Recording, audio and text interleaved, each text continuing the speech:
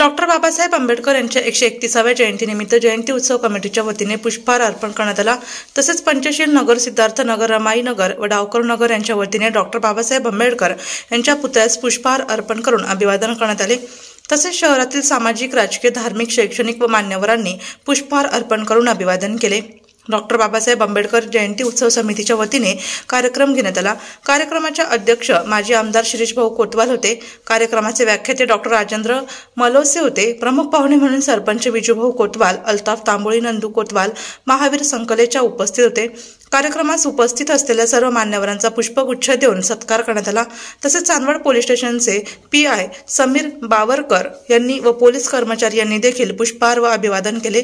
तसेच डॉक्टर बाबासाहेब आंबेडकर यांची एकशे एकतीसावी जयंती व भगवान महावीर यांची संयुक्त जयंती चांदवड पशुवैद्यकीय दवाखान्यात साजरी करण्यात आली.